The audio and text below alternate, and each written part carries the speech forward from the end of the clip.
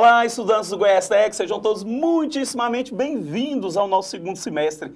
E vamos começar com muita energia, com muita garra, né, Dani? Isso mesmo. Hello, everyone. Não podia deixar de fazer a minha saudação em inglês, apesar de estar aqui na aulinha de língua portuguesa. É, exatamente. Olha só, galera, então, para a gente começar muito bem esse segundo semestre, nós vamos aqui fazer essa dupla hoje para motivá-los, para apresentar tudo de melhor né, que nós temos para oferecer e, claro, promover aí ou proporcionar uma grande reflexão, porque o tema da nossa aula de hoje, olha só, de olho na tela, viver, viver bem, bem, e com, com propósito. propósito. Uau, hein, Dani? Olha só, qual é o seu propósito? Se a gente fizer a pergunta aí para os nossos estudantes, o que você me responderia, meu lindo, minha linda? Olha só, viver com propósito. Pensa, Dani? Né? E esse tema é importantíssimo, não só para a área de linguagens, mas para toda a nossa vida, porque se a gente não tem um propósito, o que, é que a gente tem de verdade? Essa aula vai trazer essa reflexão tão importante para a gente. Viver bem com você em todos os momentos. Então, Dani Cavalari, é importante que você, que o professor Ivair, todos os nossos colegas aqui do estúdio, sejam professores, a galera aí, né, da técnica, enfim, esteja sempre bem consigo mesmo. Esse é o primeiro passo, né? Sim. A gente estar bem. Olha, desde o início do ano nós falamos sobre é, justamente a gente cuidar, né? Cuidar de si, cuidar da sua saúde mental, do estresse e assim por diante. É, e o tema da nossa aula tem tudo a ver, porque quando você fala de propósito, a gente está falando dessa, desse viver bem. E a gente precisa ter um objetivo na vida para encontrar o nosso viver bem. Para a gente começar com o pé direito esse dia, olha só, Todo dia pela manhã você tem duas opções. Continuar a sonhar ou acordar e ir em busca dos seus sonhos. Então, feliz dia, bom dia, boa tarde, boa noite, né? O horário que você estiver assistindo essa aula, faça com que o seu dia se torne excelente. Isso depende, claro, de você. Você tem proporcionado no seu convívio e o seu melhor, oferecido o seu melhor. Então a gente pode sim também tornar o dia das pessoas que estão ao, ao, à nossa volta né, um dia especial, né, Dani? Sim. Aí, como nós estamos falando em propósito, quando a gente acorda de manhã, depois daquele sonho maravilhoso, a gente pode ter um propósito logo na hora que a gente acorda. Ser o meu melhor a partir da primeira hora do dia. Sonho meu ou meu sonho? sonho meu ou meu sonho, né? Dani, por falar em sonho, eu tenho certeza que os nossos estudantes têm sonhos, né? Os sonhos aí na sua comunidade, sonhos para a sua vida pessoal, sonhos para viver né, de forma melhor, harmônica com a sua família. E seus sonhos, Dani? Eu tenho muitos sonhos, professor Ivair. Eu sou uma pessoa extremamente sonhadora. E você? Uai, também, claro. Eu tenho os meus sonhos, né? Eu até comentei com você antes da aula, quando nós estávamos aqui ensaiando, né? Um dos meus sonhos, assim, é poder ter um pouco mais de tempo e viajar mais acampar mais na beira do Araguaia, por exemplo, numa boa pescaria, com os amigos, com a família. Isso faz parte também, né, dos nossos ah, sonhos. Com certeza. Os nossos sonhos, eles podem englobar uma série de coisas. Desejo de conhecer lugares, melhoria nas condições de vida, um, um sonho de uma profissão diferente. E para isso a gente precisa o quê? Qualificação. Sim. Né? E um dos meios, um dos melhores instrumentos é o quê? É a educação. Então é importante que vocês estejam firmes nesse primeiro propósito, que é estudar. Sim. Se preparar no presente para ter melhores oportunidades no futuro. Então, começa aqui, começa agora, né? A gente planta a semente no presente para colher frutos no futuro, não é isso, Dani? Com toda certeza. Bom, olha só, de olho aqui na tela, vamos falar sobre gêneros textuais. ah, nós temos aqui né, um, um quadrinho, né? E aí nós temos aqui aquele que mora no campo, né? Os povos originários diz: meu sonho é conhecer o mar.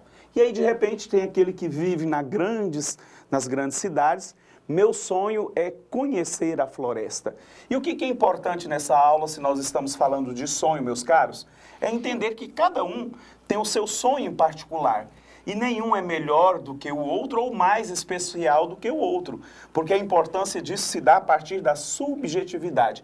Isso é importante para mim. Isso é importante para Dani, entenderam? Então todos têm um sonho que não deve ser ignorado ou até então criticado por um colega, porque é o seu sonho, é algo particular. Né, e normalmente o sonho ele vem de uma necessidade, daquilo que nos falta. Por exemplo, quando eu era mais jovem, quando eu estava começando a descobrir a linguagem, uma das pessoas que mais me influenciou foi meu avô, João Amâncio, um senhor negro analfabeto.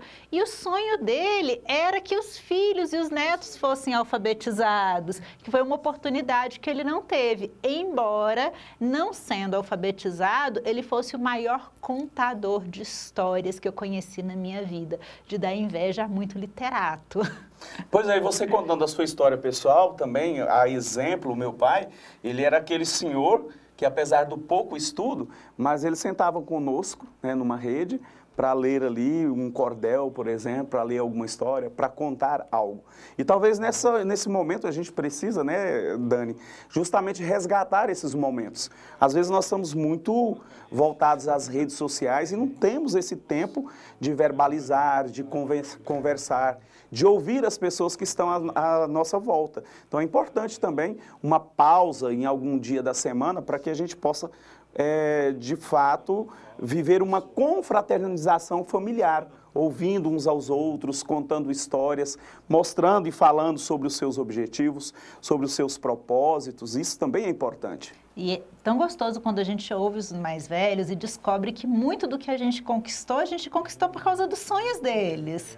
Eu não seria professora hoje, eu não seria apaixonada por letras, por literatura, eu não estaria aqui com o professor Ivaí se não fosse o sonho do meu avô, de ver todos os filhos alfabetizados.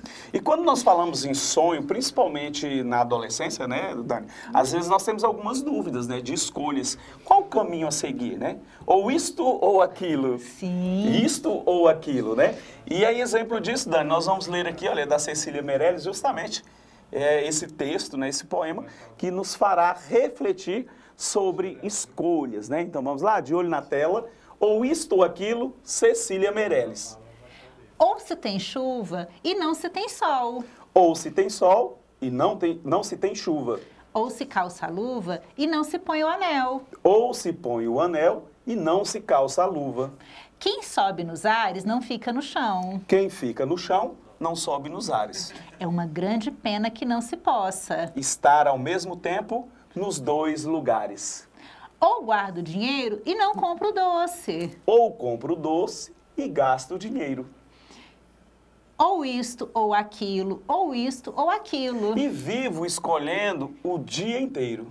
Não sei se brinco, não sei se estudo. Se saio correndo ou fico tranquilo mas não consegui entender ainda.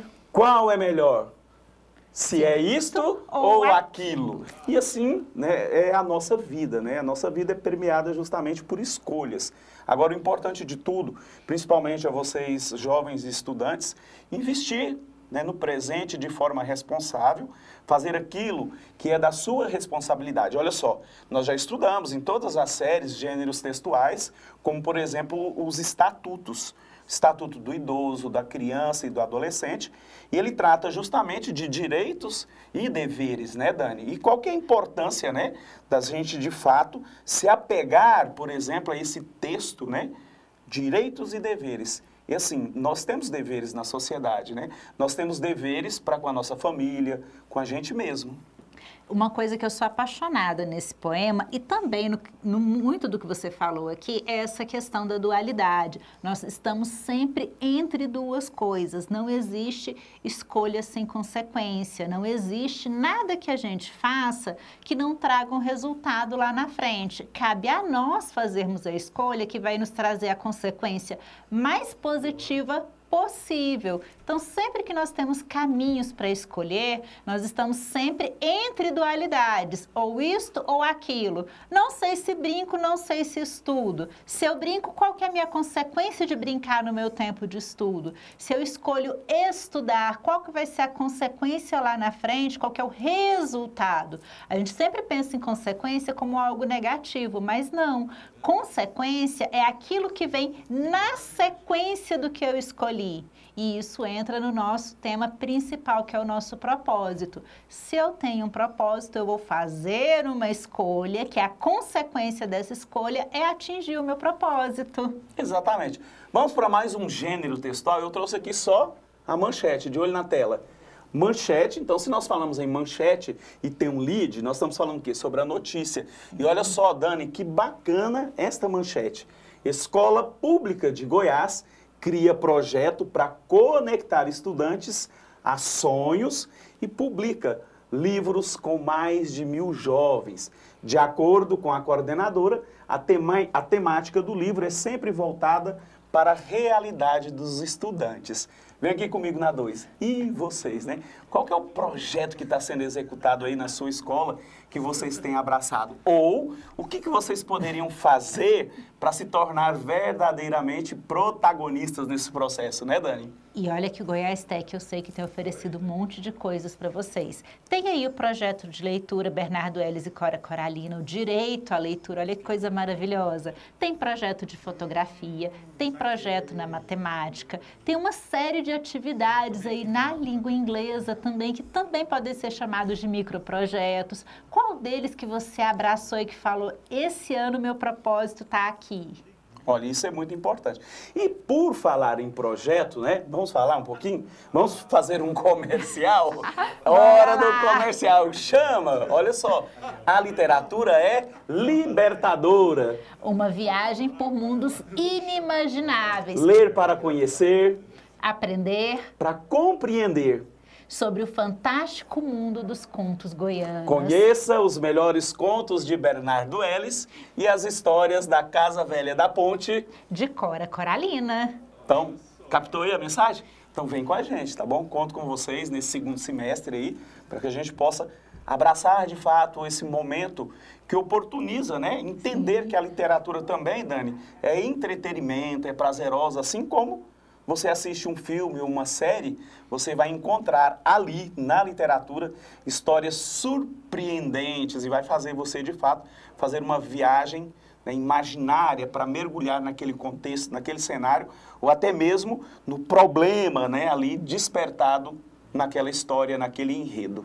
É, e para quem já leu os contos aí do semestre passado, teve muitas reflexões interessantíssimas, inclusive reflexões existenciais, como por exemplo, aquele conto do saco de arroz. Gente, aquela imagem da personagem se olhando no espelho e não se reconhecendo, pode acontecer com qualquer um de nós, dependendo das nossas escolhas aí na vida ou das escolhas que são tiradas de nós em determinados momentos, de chegar na frente de um espelho e não se reconhecer.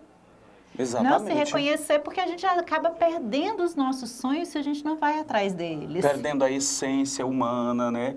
Perdendo a essência de um propósito. E agora é o que nós iremos falar a partir deste momento sobre propósito. Dá uma olhadinha aqui na tela. De olho na tela, você sabe qual é o seu propósito? Olha só, agora já ficou mais forte, né, Dani? Nós estávamos falando de sonhos, mas agora nós estamos querendo saber qual é o seu propósito. Mas para ajudá-los, qual que é a diferença, professor, entre, entre o propósito e o sonho? Vamos lá? A partir do dicionário, olha aqui a linguagem metalinguística. É o dicionário explicando a própria língua. Propósito. Substantivo masculino. E aí nós temos aqui a primeira definição. O propósito é a intenção de fazer algo, um projeto, um desígnio. Tenha o firme, eu tenho firme propósito de viajar. Então, é um projeto, é um desígnio pessoal. Aí vamos para a segunda definição? Aquilo que se busca alcançar, objetivo, finalidade, intuito, ter bons propósitos na vida. Tanto que em inglês nós temos até uma expressão para quando a gente faz planos no futuro, para planos que têm relação com o propósito, com algo que realmente queremos realizar, que é o futuro com going to. Então, quando eu tenho um propósito, eu tenho um caminho traçado. É algo que eu visualizo acontecer. Eu não só aspiro por aquilo. Exatamente. Então, assim, as perguntas que vocês devem fazer a partir de agora são justamente essas, né? O que você busca alcançar na sua vida enquanto estudante, daqui a alguns anos enquanto um profissional, né? O que você escolhe para a sua vida? O matrimônio, né? Você quer constituir uma família. Qual que é o seu objetivo pessoal, profissional? Qual que é o seu objetivo aí no lugar onde você mora? O que precisa melhorar? O que, que eu posso contribuir para melhorar isso? Qual que é a minha finalidade existencial, digamos assim? Exatamente, professor Ivaí. Então, propósito. Então, qual é o seu propósito? Começa a pensar sobre isso, principalmente a galerinha do ensino médio, principalmente a galera do terceirão, por exemplo, né, quem já está lá na última série do ensino médio, precisa de fato já pensar o que, que quer, né? Sim. Quais são os caminhos, porque você está encerrando um círculo e você precisa saber em que, que você vai se apegar quais serão os seus caminhos a partir de agora. Essa aula é um convite para todas as turmas aí, desde o oitavo até o terceirão, para realmente pensar filosoficamente nesse propósito, porque quanto mais cedo você estabelece um propósito, mais ações você vai ter para realizá-lo. É, quando nós falamos aqui de olho na tela, olha, por que procrastinamos? Mas a pergunta é, de olho aqui na 2, o que é procrastinar, né, Dani? Olha só, a gente precisa primeiro entender, né? O que é procrastinar? Procrastinar é uma palavrinha danadinha que pega a gente lá pelo pé e puxa a gente para a inércia, porque procrastinar ela começa justamente quando eu tenho um propósito, mas eu começo a pegar distrações, coisinhas aí que vão atrapalhar o meu caminho. Muitas vezes a preguiça, Sim. né? Aí você deixa de cumprir os seus deveres porque você está envolvido com outra coisa que às vezes no momento não é tão importante. Eu costumo comparar a procrastinação com uma corrida de obstáculos. Você quer chegar lá na chegada, quer chegar em primeiro lugar, quer pegar a medalha, quer pegar o pódio. Mas no meio do caminho você tem que pular os obstáculos. Só que esses obstáculos muitas vezes é a gente quem coloca. A procrastinação não é outra pessoa atrapalhando a nossa vida, não é uma coisa que vem de fora, vem de dentro. É como se eu no meio da corrida fosse lá na beiradinha e puxasse o obstáculo e colocasse ele lá na minha frente para eu ter que pular esse obstáculo. Pois bem, quando nós falamos em procrastinação, por que que nós procrastinamos? Muitas vezes é por medo de superar desafios, né, Dani? Sim. Às vezes a gente se encolhe achando que não é capaz, mas olha, a força que existe dentro de você, há uma motivação. Então você precisa querer com muita intensidade e assim você vai vencendo os seus medos. Olha, por exemplo, existem determinados estudantes que às vezes não conseguem ainda recitar um poema frente à sua sala. E aí ele precisa vencer esse medo. Então ele vai se preparar, fazer o melhor possível, treinar. Ele precisa, né? Tudo é um processo para ter a coragem de vencer esse desafio. Eu não, eu tenho medo, mas eu sou capaz. Vai lá e vence e você vê que o medo não é nada, né? Depois nós temos a gratificação instantânea que, que é isso, gratificação instantânea? É aquele prazer que a gente tem fazendo as coisas mais idiotas da face da Terra. É, são aquelas coisas que você não dá nada por elas. Ah, vou dar uma olhadinha aqui no Instagram, são cinco minutinhos, quando você vê passou duas horas. Vou assistir esse videozinho no YouTube que não tem nada a ver com conteúdo, mas ele é legalzinho, tem uma música legal, tem uma figurinha legal, tem uma animação. E assim a gente vai fazendo pequenas coisas ao longo do nosso dia que nos dão prazer. Só que é um prazer totalmente instantâneo, que ele não nos traz nenhum benefício, nem agora, nem no futuro. Isso é uma gratificação instantânea. E aí depois nós vamos para a falta de motivação. Quando nós falamos em motivação, é algo que está aí dentro de você. É a sua concepção, é o seu pensamento, é o seu desejo. Então você precisa querer muito. Então tem coisas que dependem de você.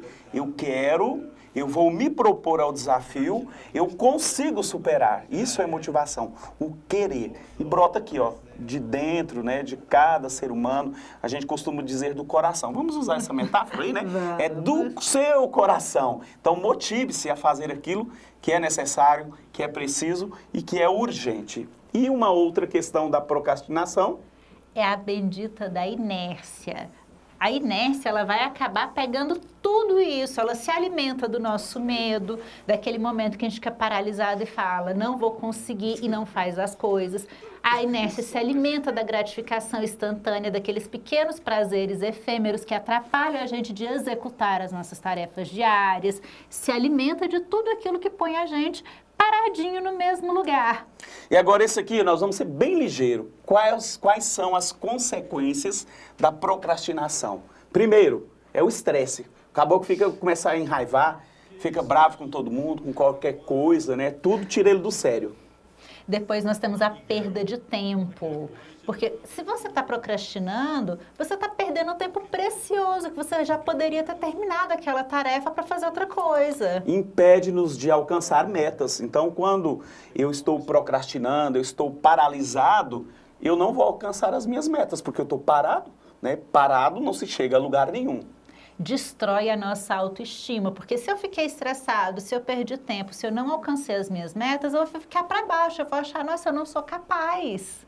Então, a procrastinação deixa a gente em desespero. Ah, meu Deus, e agora? Eu não consigo fazer. E o trabalho feito às pressas. Porque não tomou conta antes, na hora oportuna, no tempo certo, né, Dani? Que é um exemplo maravilhoso de procrastinação. Não estudei para a prova. Chega na hora da prova, dá aquela suadeira, é, aquele negócio no coração, meu Deus, eu não lembro de nada. Mas no momento que poderia ter estudado, fez uma série de outras coisas e chegou na hora H, vem o que? O desespero, a falta de autoestima. Fazer de qualquer jeito mesmo, não ia sair bem. Faça esse exercício ó, com calma e reflita em cada pergunta. Esse passo será a chave para você identificar a causa da procrastinação. Então, vamos identificar o caso. Dê uma olhada nos principais motivos. Então, a gente começa. Ao procrastinar uma tarefa, pergunte-se: não tem nem ideia por que, que você deixou de fazer aquilo? O que está me impedindo? Então, assim, olha, eu estou procrastinando uma tarefa, eu não fiz, eu não estou fazendo. Pergunte-se: o que, que está me impedindo de fazê-la? Aí você descobriu? Descobriu sim ou não? Se não, nós vamos para a segunda sessão. Vamos Bora lá, Dani? lá, vai. Então, nem tenho ideia o que, que está me impedindo. Então, vamos para a segunda sessão? Vamos lá. Se depois de várias tentativas você não identificar o problema, passe para a segunda sessão e avalie com calma cada um deles e veja se não se aplica com alguma tarefa desse exercício. Então a gente começa. O que, que está me impedindo? Nem ideia? Ixi, agora, Dani? Então a gente Pula tem que ir para a segunda, segunda sessão. sessão. A pergunta é esta, olha. Avalie agora por que, que você consegue. Então, o primeiro é o que você consegue, né? E analisem bem, não é porque você não consegue fazer alguma coisa, é porque você consegue. Então você avalia buscando seus pontos positivos. A gente nunca foca nos nossos pontos negativos. A gente vai nas nossas capacidades. Aí se você não conseguiu avaliar por que, que você consegue, opa, é para cá, Aí nós vamos aqui, ó. Mude para uma tarefa que você consiga fazer. O que, que você consegue fazer? Invista nela. Mas, se você nem tem ideia ainda, você volta aqui para a base. Ó. Avalie agora por que, que você consegue. Muito bem. Descobriu? Descobriu? Aí, se você descobriu o porquê que você consegue isso, você precisa entender o ponto X da questão. Por que, que eu consigo fazer essa? Eu me dediquei, eu tenho mais interesse, eu me sinto motivado em relação a isso? Detalhe, nem tudo aquilo que precisamos fazer, às vezes, é tão agradável, mas é necessário investirmos o que? A nossa motivação, o nosso tempo para que aquilo se realize, não é isso, Dani? Muitas vezes alguém gosta mais de uma área de conhecimento do que outra, até aquela galerinha que é apaixonada por matemática, bate o olho, então não procrastina as tarefas de matemática, já faz logo. E tem aquela galerinha que já não gosta tanto. Aí o que que acontece? Esse quadrinho aqui é do professor Exatamente. Ivair. E aí o que, que, que nós que precisamos? Que... Vamos né? lá? E aí você descobriu o que, que motiva, o que, que você consegue. Ou eu gosto é de ler. Não, eu gosto mais dos cálculos. Então, ela te motiva, né? Tem um resultado que você deseja, é fácil, é prazeroso, e aí você vai descobrindo os caminhos que deverão ser trilhados para você conseguir o êxito também, até naquelas atividades que muitas vezes não são tão agradáveis, não são tão prazerosas, mas são necessárias e é da minha responsabilidade, é da sua responsabilidade que seja executada. E aí? Enfrente o problema de frente. Se você descobriu que você está procrastinando alguma coisa porque você não tem tanto prazer em fazer aquilo, ao focar nos seus pontos positivos, você vai descobrir o um motivo para você fazer e vai enfrentar o problema de frente. E esse problema pode ser, né? Qual que é o seu medo? É de perder algo? Do, do desconhecido? desconhecido de falhar. da complexidade? Qual o seu medo? Da sobrecarga. Seria das muitas ações que precisam ser né, articuladas ali para resolver? Ou. De pagar mico. É, então são questões que você precisa entender. O que, que te causa medo, né? Mas para isso nós temos uma receitinha aqui, ó, Dani. Como superar o seu medo. Então, primeiro é avaliar o seu medo. Medo não gosta de luz, ilumine ele. Analise de onde vem e como você se sente. Aí você vai vencendo. Ah, é porque eu fico com vergonha de declamar ou ler na frente dos meus colegas. Então treine em casa para você ficar melhor, para ler melhor e se sentir mais seguro e mais à vontade. Vamos para o 2, Dani? Se comprometa a mudar. Você já conhece o seu medo. Se você conhece o medo, você já tem a primeira arma contra ele. Agora é decidir enfrentá-lo e se comprometer com isso. Ah, eu não gosto de ler em público porque eu leio devagar, às vezes eu tropeço na pontuação. Identificou qual que é o seu problema. Eu tenho medo, por esse motivo. Então, agora, ao praticar, eu vou melhorar aquilo que me fazia sentir constrangido, envergonhado. E depois de você enfrentar isso, você vai ver que vai dar até aquela vontade de, nossa, agora eu quero fazer. Eu me esforcei, eu me empenhei, eu quero que todo mundo veja que eu enfrentei. Aí nós vamos por três, que é justamente esse testar o medo. Então, é você mudar a sua mentalidade, né? Então o seu medo pode ser derrotado. Poxa, eu nunca tinha feito por medo, mas só que agora eu aceitei o desafio, eu consegui. Aí, ó, bola para frente, porque você venceu o seu primeiro medo. É assim que funciona. Ou vocês acham que quando nós começamos aqui no estúdio dando aulas, né, na TV, é através do programa Goiás Tech foi muito fácil para nós. Nós tivemos que superar os nossos medos, né, Dani?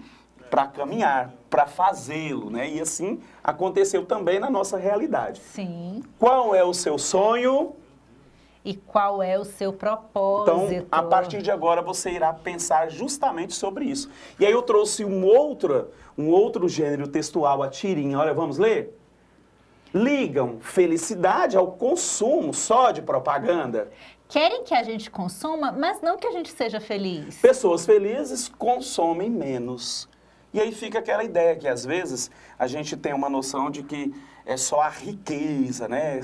Só quando eu for milionário, uma idealização de um sonho, né? Sim. Que a gente vai ser feliz. Mas nós podemos ser felizes na nossa realidade, com o que temos e valorizando o que nós temos, né? Porque muitas vezes, Dani, as pessoas começam a, val a valorizar aquilo que elas perdem, né?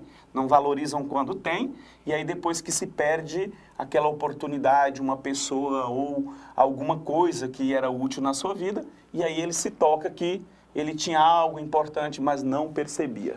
Aí a gente volta lá na questão do propósito, que existem os grandes propósitos na nossa vida e os pequenos propósitos que a gente faz ao longo do dia, por exemplo. Qual que é o meu propósito na segunda-feira?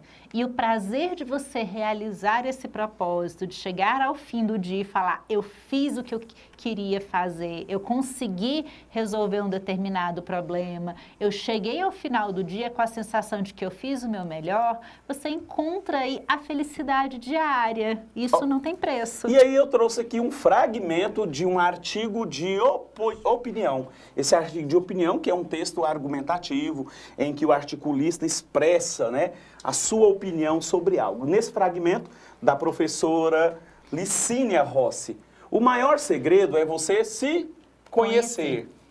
O que você sabe fazer com perfeição?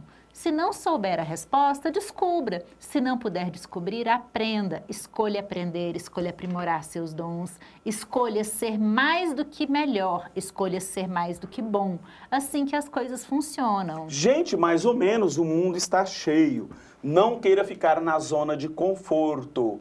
A verdadeira felicidade definitivamente não está lá. Então, assim, a gente não pode ficar acomodado. Ah, aqui para mim está muito cômodo, eu não quero enfrentar os desafios. Sai dessa zona de conforto. Vá à luta, enfrente os seus medos, aquilo que te desafia e que às vezes você fica com o pé atrás, avance, crie coragem, faça acontecer. Tenha coragem e com coragem vocês vão conquistar qualquer propósito que vocês tenham. Pra gente terminar a nossa aula, dá uma olhadinha aqui na tela. Bora ser feliz? Vamos lá? Bora, bora. Só para lembrar que propósito é uma intenção de fazer algo, é um projeto, é um desígnio. É aquilo que se busca alcançar, o objetivo, finalidade, o intuito. Então temos que ter bons propósitos na vida. E para encerrar a nossa aula, nós desejamos a vocês sucesso, Sucesso. felicidades e bênçãos nesse segundo semestre e vamos lutar pelo nosso propósito. Vamos lá? Combinar? Vamos combinar com eles? Vamos combinar Então, beleza. Podemos contar com vocês? E Eu tenho certeza que sim. E nós acreditamos em cada um de vocês. Cada um de vocês aí que se propor a fazer alguma coisa, eu tenho certeza que consegue. Hoje vamos estudar de forma diferente, sem escrever em língua portuguesa? Bora estudar? Bora. Que tal agora uma roda de conversa para vocês discutirem, refletirem aí sobre felicidade Sonhos e e propósitos. beleza? Faz uma roda de conversa, né? O que, que é importante, o que, que é primordial e como construir isso nas suas vidas. O, o ideal de felicidade, né? o que, que você precisa fazer para conquistar os seus sonhos e qual que é o propósito, né? Nesse intercâmbio de felicidades e sonhos que você vai lutar para conseguir, beleza? Então, forte abraço, beijo no coração do Ivair e da Dani. E agora é hora de trabalhar, é hora de praticar, fazendo aí a roda de conversa. Felicidade, sonhos e propósito. Beijo no coração, partiu!